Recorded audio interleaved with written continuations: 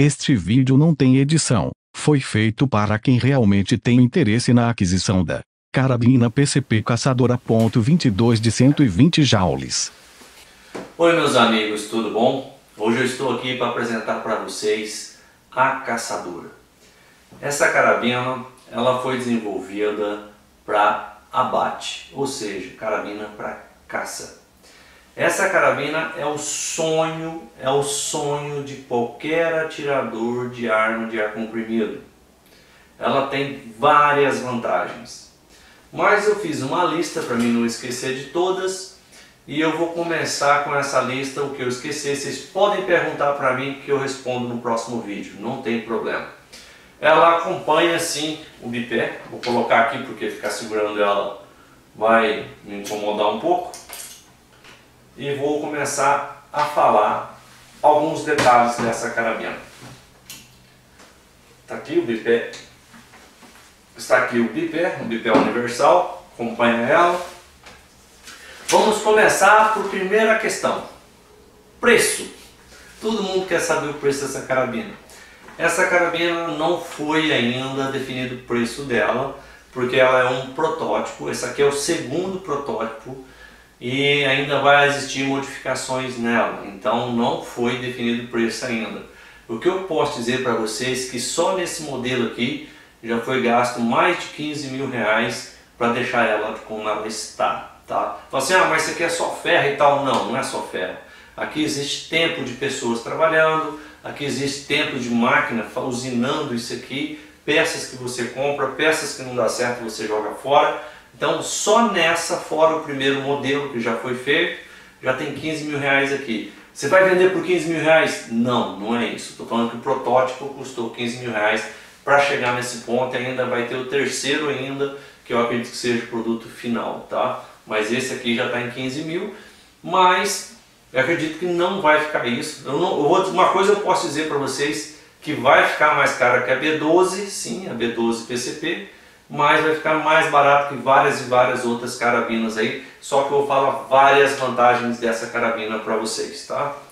Bom, falando de acabamento, essa carabina ela chegou toda é, em alumínio para mim, em metal e tal, fui eu que pintei, inclusive supressor, tudo fui eu que pintei, e então está descascando mesmo, mas não quer dizer que as definitivas vão ser assim, as definitivas vão ser anodizadas peças de alumínio e as peças em metal vão ser oxidadas, então não vai ter perigo algum. Isso aqui foi uma pintura que eu fiz a spray, está descascando mesmo, normal, perfeitamente aceitável. Tá? O primeiro protótipo atingiu 80 joules com chumbo de eh, 28 grains e atingiu 60 joules com chumbo de 1 grain, eh, desculpa, 1 grama ou 15 grains. Fizemos uma outra pesquisa, os clientes não queriam isso, queriam mais e mais e mais. Bom, conseguimos atender isso e nós chegamos no segundo protótipo com chumbo de 1 grama, ou seja, 15 grains, atingimos 80 joules e com chumbo de 29 grains, que é esse aqui que é fabricado aqui na CO2 Brasil também, esse chumbo atingiu 120 joules de média. É claro que teve algum disparo que deu 125, 128, mas a média é 120 joules, tá? É, rendimento dela é de 20 tiros com esse cilindro, tá? 20 tiros, mas são 20 tiros paulada mesmo. Você não precisa ter medo não que ela dá um em outro, é paulada. É, por que, que ela foi definida como monotiro? Essa carabina ela foi definida como monotiro porque se a gente escolhesse uma carabina multishot, uma carabina multitiro para fazer isso, a gente não consegue extrair tudo isso de potência. Existem algumas coisas da física, da, de fluidos e hidráulica que vai explicar isso, mas eu resumindo é o seguinte: o ar sai aqui da válvula na, direto na bunda do chumbinho. Isso já te rende automaticamente de 20 a 30% de velocidade. Então é por isso que a gente decidiu por sistema monotiro, porque a descarga de ar na bunda do chumbinho já te dá uma vantagem em cima das multishot que tem que fazer uma curva de 180 graus. O cilindro é instalado embaixo, faz uma curva para cima, depois outra curva para frente. Só nisso perde praticamente 30% de velocidade. Tirando também as dificuldades mecânicas de fazer isso, e também o problema de vazamento, peça a mais e tal, isso é muito complicado, decidimos pela monotiro, tá bom? É, que cano que usa? Vai poder usar qualquer cano, qualquer cano seu ou nosso que estiver em bom estado, ou seja, novo, você vai ter uma boa carabina, uma excelente carabina, e se o seu cano não prestar, você vai ter uma carabina que também não vai prestar. Mas inicialmente esse cano é o cano da B12, já fizemos testes e atinge 120 joules com chumbo de 29 grains, vamos dizer assim. E vou dizer uma coisa para vocês, é muito preciso esse cano sim. Eu fiz vários vídeos e vou fazer na sequência mais e colocar aí para vocês verem. Tá? É, cilindro grande, cilindro pequeno. Ok, por que escolhemos esse cilindro? Esse cilindro é de 255 cc. Na carabina, primeira carabina, era só esse cilindro em cima. O cliente queria mais rendimento de tiro, né? então a gente foi obrigado a colocar esse outro cilindro embaixo. Isso aumentou um pouquinho do peso, mas aumentou o rendimento para 20 tiros. E a válvula disparadora dessa carabina foi confeccionada no Brasil, projetada no Brasil foi tudo, foi tudo redesenhado no Brasil ou desenhado no Brasil para ter essa máxima potência nessa carabina. Isso resultou numa válvula nossa com manutenção muito barata e com peça muito barato e isso vai deixar a carabina barata para vocês. É, o manômetro está aqui atrás, esse manômetro foi instalado apenas para mim testar. Depois esse manômetro vai ser instalado na lateral, a gente não sabe se vai ser na lateral embaixo, mas vai ser instalado em outro lugar. Aqui não vai deixar, tá? Esse cilindro é um cilindro de 250 bares e a válvula também é de 250 bares, tá? Para render 20 tiros. Se você colocar apenas 200 bares, vai render para 15 tiros. Ah, é pouco? Não é pouco. vou falar uma coisa para vocês, não é pouco. A, a carabina que chega próximo a ela nos Estados Unidos, que é a Air Force Escape ou Ultralight, é 8 tiros, tá? E não chega na velocidade dessa carabina. Não chega na velocidade dessa carabina, não chega na potência dessa carabina e rende apenas 8 tiros. Essa rende 15 tiros. Veja só a diferença. Uh, o cilindro grande, sim, vai ter a possibilidade de você usar o cilindro grande, porém, na venda inicial da carabina a gente não vai fazer isso. Vai ser apenas com essa é, cilindro, apenas com essa válvula. Por que disso? Porque a gente não conseguiu ainda desenvolver uma válvula para o cilindro grande. Então quem decidir pelo cilindro grande vai ter que usar a válvula das Air Force, das Gunpowder ou das T-Rex, vamos dizer assim, porque a gente não conseguiu desenvolver uma válvula ainda para o cilindro grande. Então você vai instalar o cilindro grande, vai ter mais rendimento, porém você vai ter menos potência, tá? Isso não tem jeito por enquanto a gente não chegou nesse nível.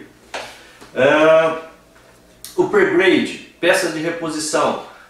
Vamos lá, cilindro, vocês vão poder usar o cilindro e a válvula das Gunpowder e das Air Force, tá? Vai precisar fazer uma modificação aqui, porém dá para se usar, a gente vai chamar de upper grade, então você vai poder usar cilindro regulado, vai poder usar cilindro chinês, vai poder usar válvula reguladora chinesa, qualquer acessório da Gunpowder da Air Force você vai poder usar nessa carabina, porém não vai ter a mesma potência dessa carabina, vai cair a potência, mas você vai poder usar sim, tá bom? Vamos lá, uh, essa carabina é a carabina mais forte do Brasil? Sim, rapaz, essa carabina aqui é a carabina mais forte que eu conheço. É a carabina que ultrapassa uma carabina de arma de fogo no calibre 22, seja bem claro. Uma arma, é, um, a munição CBC de 30 grains atinge no máximo 95 joules, estourando essa carabina ultrapassa todos esses limites, tá? Então sim, ela é mais forte com uma arma de fogo 22. E veja bem, o cano dela é mais curto, tá? O cano da B12 aqui é mais curto e realmente atinge uma velocidade muito superior a uma arma de fogo. Não estou falando das munições hiper, né, que o pessoal chama, que é de ultra velocidade. Essa carabina não. Essa carabina, ela utiliza chumbo de 30 grains, que é o chumbo mais fácil de você encontrar no mercado é o chumbo que atinge e ultrapassa a velocidade das armas de fogo na munição sub, né? é uma munição de 30 grains, depois eu vou falar com mais detalhe em outros vídeos. Porém, um detalhe, com chumbo de 55 grains, ela atinge 145 joules, mas com esse chumbo de 55 grains você não acha no Brasil, é um, um chumbo artesanal feito por Mr. Hollow Point, o Bob, lá nos Estados Unidos, é, então desconsidera essa munição, atinge 145 joules, mas você não vai achar, então é um pouquinho complicado, tá? É, eu considero essa arma a arma mais forte do Brasil e também considero uma das armas mais fortes do mundo. Vamos lá então, falando já do cilindro 255cc. É... Ah, me perguntaram o seguinte, me perguntaram se esse cilindro é canela de moto. Cara, não é canela de moto. Se você colocar uma canela de moto que encher nessa pressão, vai estourar na sua cara, tá? Então não é, é um cilindro que a gente compra, o cilindro hidráulico certificado. Esse cilindro aguenta 600 bares, a gente não usa isso, mas é um cilindro certificado de é um cilindro hidráulico certificado de 600 bares, tá bom? Uh, rendimento, rendimento 20 tiros, 20 tiros com essa configuração de potência máxima é, com 250 bares. Com o cilindro grande, nós fizemos uma média que vai dar 50 a 60 tiros, dependendo da válvula que você vai usar, tá bom? Velocidade, vamos lá então, velocidade. Essa carabina atingiu a velocidade de 1330 fps com chumbo de 1 grama, isso dá 82 joules. Com o chumbo de 29 grains, atingiu 1150 FPS. Isso dá exatamente 123 ou 125 joules, não me lembro agora de cabeça. Uh, é uma carabina leve, sim, é uma carabina extremamente leve. Porém, eu não vou falar peso dela, porque o peso dela varia de acordo com os acessórios, de acordo com o tamanho do cano. Então, realmente, não vou falar peso, mas ela vai girar em torno de 3.500 é, vai girar em torno de 3,5 kg mais ou menos pelada, tá? Pelada. Depois vem os acessórios, ela vai ficando mais pesadinha um pouquinho. É uma carabina feita para campo, sim, é uma carabina feita para caça, é uma carabina feita para abate, é uma carabina para ter extrema força, é uma carabina para destruir o que você quiser atirar. É, é uma carabina tática, sim, é uma carabina tática totalmente tática, ela é take and down, ou seja, ela desmonta, monta com apenas uma chave, eu vou mostrar isso, tá bom? Uh, cano intercambiável, sim, você vai poder usar qualquer tipo de cano, você vai poder usar o cano 6mm, 5,5, 4,5, 4,5 vai ter que diminuir o tamanho da válvula aqui, mas dá para usar o 4,5. O pessoal está perguntando de martelo, mola, papá, nós vamos vender ela com extrema força extrema força mesmo, não vai ser uma carabina para você ficar tirando papel. Mas qual é a vantagem? Você pode abaixar a força dela assim depois e a gente já está providenciando alguns kits para abaixar a força dela, tá bom? É, alça em massa de mira aberta, sim, ela pode usar alça em massa de mira aberta, está aqui. É, alça em massa de mira é, tática, né? Você vai tirar a luneta, colocar aqui, coloca aqui a, a, a massa e a alça isso acredito que a gente vai acompanhar a carabina, tá? Acredito que a gente vai colocar junto com a carabina para entregar para vocês. Trilhos de 20. Tem os trilhos táticos laterais e embaixo para você usar lanterna, laser, é, foregrip, no caso que esse foregrip aqui tático ficou muito bom, a telha ficou muito bacana. Esse, essa, essa, esse pistol grip foi inspirado nas, nas Evanix Rex e também nas Daystate, que usa esse mesmo sistema. Não é o mesmo sistema, é esse mesmo pistol grip e ficou muito bacana, tá? Uh, soleira de metal, tá aqui soleira de metal, bacana. Gatilho, gatilho. O gatilho tem ajuste de curso e de peso, tá? Você pode deixar ele mais sensível ou menos sensível. Então, tem ajuste de gatilho. Esse gatilho foi feito especialmente para essa arma de ar comprimido, tá? Então você não vai achar outro sistema de gatilho igual. Qual é a vantagem desse sistema de gatilho? Esse sistema de gatilho não deixa você armar a carabina se tiver travada a segurança e também não deixa você disparar. Ou seja, O sistema de trava de segurança dela não é automático, você bem claro, não é automático, porém ele não deixa você armar e não deixa você disparar se ele estiver acionado. E tem uma outra segunda trava de segurança, que é uma trava de segurança de ferrolho, que ela não deixa você disparar com o ferrolho aberto, se estiver aberto, não vai deixar você disparar. E acontece com as outras armas, se você disparar com aberto, sim, às vezes você esquece, pum, dispara. Essa aqui não, essa aqui você não consegue, tá? Então vamos explicar um pouquinho mais aqui dela. Isso aqui, alce massa de mira, chumbinho de 29 grains ou 30 grains e vamos aos detalhes dela, tá?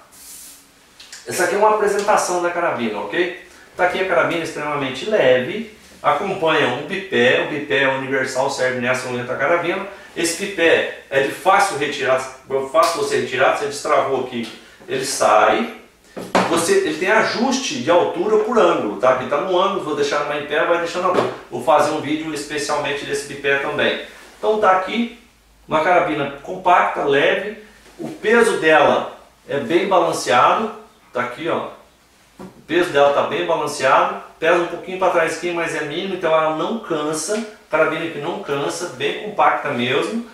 E vamos ao detalhe do sistema de ajuste gatilho. Tem um parafuso aqui, você vai apertar para você deixar ele mais sensível ou soltar para deixar ele mais longo, curso e mais pesado, tá?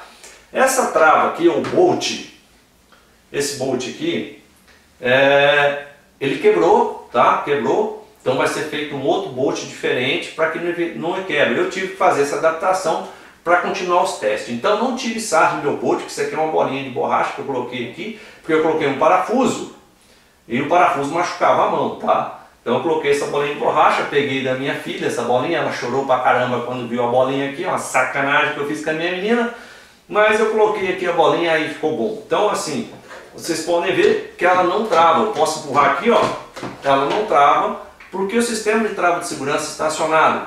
O gatilho também não mexe, eu não consigo armar a carabina. Ó, você não consegue armar, porque o sistema de, de trava aqui está acionado. Vou destravar, ela destrava aqui, vou empurrar. Olha aqui, empurrei. Ela armou, está armada. Ok? Aqui tem um descanso do ferrolho. Posso puxar o gatilho aqui, ó ela não dispara. Ela está travada aberta, tá? Então, soltei aqui, beleza? Olha que bancada, vou fazer um disparo aqui, fazer barulho, hein? É, então, está pronto para tirar. Então, ela tem dois sistemas de segurança, muito bom, muito bem projetado. E também a telha, essa telha em especial ficou muito bom, porque ficou bem próximo a, ao gatilho, então ela dá um equilíbrio melhor na carabina. Vou falar de supressor. Essa carabina, é, ela veio tudo branca para mim, pintada, e ela veio com supressor em plástico interno. Coloquei outro supressor em plástico também, ela destruiu, ela tem tanta força que qualquer supressor de plástico que você colocar aqui, quando eu falo plástico, não é que a parte externa seja plástico, mas que a parte interna é plástico, essa parte interna, plástico, ela moeu. Então ela tem que ser literalmente um supressor todo em alumínio ou metal, tá? Uh, vamos a outro detalhe, que é o sistema de, de modular dela ou take and down. Veja bem, tá aqui. Essa carabina ela pode utilizar qualquer tipo de cano, desde, desde o calibre permitido, e você pode trocar o cano apenas com a mão. Basta você desrosquear aqui, veja bem.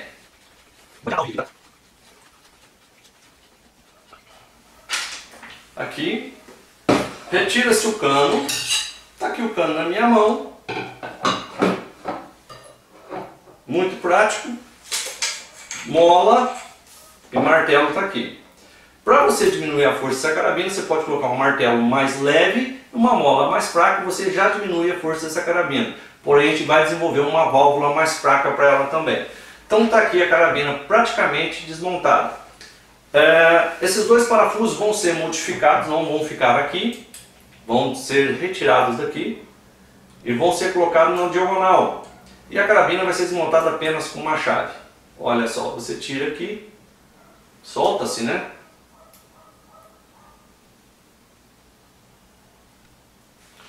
Soltou, cilindro, carabina aqui, ok. Pronto, você coloca dentro de uma mochila e vai com a sua arma para onde você quiser. Esse é o sistema take and down ou sistema modular. Tá? É, você pode colocar um, um, cilindro grande, vai precisar de uma bucha, a gente está desenvolvendo essa bucha também, para você utilizar o cilindro, o cilindro, grande da Gunpowder ou mesmo da Air Force. Quem quiser mais tiros, vou lembrar que vai ter menos força, porém vai ter mais tiros. A gente vai vender assim, tá bom? É um protótipo que já está sendo feita a terceira. Essa aqui nós vamos é, refazer ela, né, com outras furações, vocês vão ver aqui. E acredito que ela vai ser melhor ainda do que esse segundo modelo, tá? Então esse aqui é a caçadora. E agora eu vou falar uma coisa para vocês. Quem teve paciência assistir até agora. É, eu fiz vários vídeos de agrupamento, vários vídeos com vários canos. Fiz bastante vídeos, bastante disparo. E se vocês, veja bem, se vocês respeitarem o meu espaço de tiro, que é 20 metros, que é onde eu moro, é onde eu posso atirar, que são minhas duas garagens, vocês podem mandar o desafio para mim. Tipo, estourando um coco, estourando uma lata de cerveja, desde que seja dentro desse espaço, tá? Não, não pode ser, tipo, ah, que não tira 80 metros. Porra, não tem espaço de 80 metros para tirar. Mas essa carabina não é carabina para você atirar a longa distância, é carabina para bate. Então, se vocês fizerem um desafio assim para mim, ó, quero ver você estourando, sei lá, um botijão de gás, não sei. É claro que isso vai me custar dinheiro, então eu acho que não, né? Então, vamos partir de uma coisa mais simples, é uma laranja. Bom, Faça um desafio, fica aí à vontade aí, se eu tiver condições de fazer, eu vou fazer, tá bom? É claro que não vai ser com esse modelo, porque esse modelo já vai para lá para retirar todas as medidas de novo e vai voltar já o modelo definitivo para a gente aqui, com todas as alterações que a gente tiver que fazer. Bom, eu espero que tenha esclarecido algumas dúvidas a respeito dessa carabina.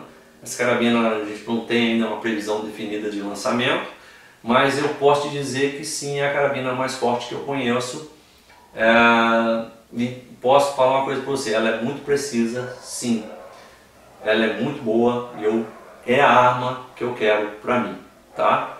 É, outra coisa que eu gostaria de falar também é a respeito de preço, não dá definido.